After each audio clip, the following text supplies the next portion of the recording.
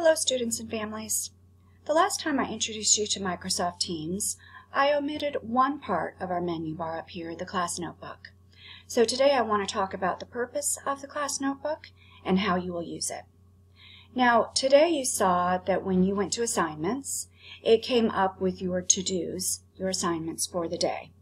Here I've got an example of a science assignment that you might see, and it instructs you to watch the Science Fusion digital lesson. After watching, go to your notebook and open the Science tab. Give the new page this title and date it 3 March 31st, 331. List each part of a flowering plant and explain the function of the part. You might even try inserting a picture, but this isn't required. So here is your link to the digital lesson that it's referring to, but it's also asking you to go to your notebook. So you would click on this link, watch the video that um, explains plant parts and their structures and their um, functions. And when you are done, you would go up here to the class notebook. Now, sometimes when you click on class notebook, you might find that it gives you an error message. You might find that it asks you to retry. It might also give you a welcome message um, the first time that you go to view this.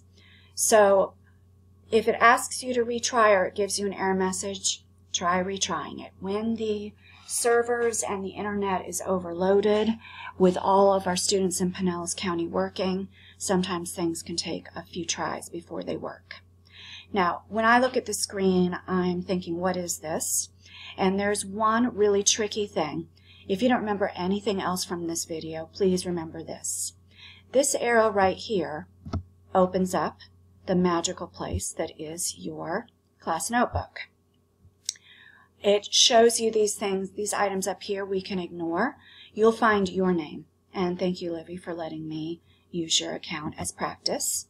And if you click on your name, you are going to find that your notebook is divided into different sections. So the idea of the notebook is that it's like if we were in class and we passed you a piece of paper. You know that in class we pass you work worksheets to do, we pass you blank pieces of paper to do work on.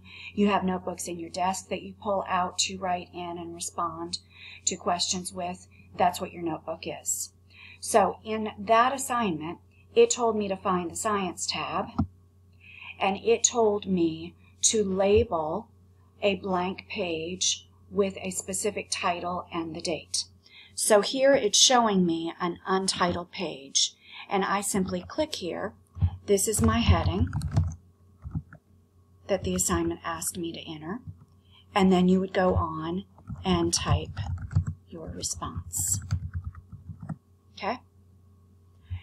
Once you have done your work here, it automatically saves. So there is no save option within this screen. It simply saves automatically. Now I deleted that so Livy would not see me messing around with her blank piece of paper. But if I were to leave that heading, just to show you how it works, click on this arrow again, go look at math, in math, we've uploaded also some worksheets for you to look at.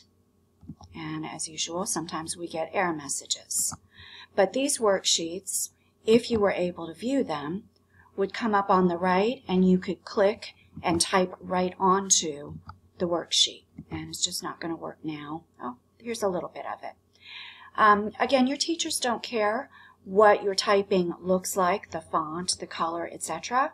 We just want a solid, complete answer to our questions. So don't worry too much about making it look fancy or um, scrolling around. Just make sure your answers are complete. Now, just to show you, if I go back to that science worksheet, you can see that it saved my work here under science. And again, I'm going to delete it so that Livy does not have my mess to look at. Okay? So anytime I go to any other screen, I can go back to Class Notebook.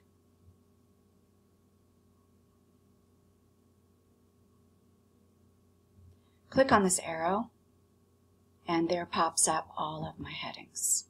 Okay, so hopefully that is helpful.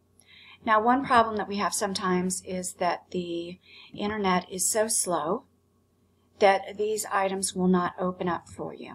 And so we created an alternative way to finish work if you get nothing but error messages. So I will post each day a message that looks like the one that I'm looking for now. And that will have links to all of your messages. I'm sorry, all of your assignments. So here I've titled it Alternative for Assignments. So if, for example, your assignment for math you could not complete because the network wasn't allowing you to because there's some glitch on your computer, you could complete the assignment from this screen. It's an alternative to assignments. So this says click on the link to do the interactive tutorial. Here is the link in blue to do that interactive tutorial. The ELA assignment for Monday and Tuesday is to read or listen to the book Edward Tulane and then answer a question. This is the read aloud of Edward Tulane link right here in blue, and this is the link to the question that you should respond to. And it will give you a blank form for you to type in your response. So if you cannot do assignments, look for this post in your posts um, tab to pull up an alternative way to get to those assignments. I hope that this answers some of your questions about assignments, notebooks, and these alternatives, and I hope that you have a great evening.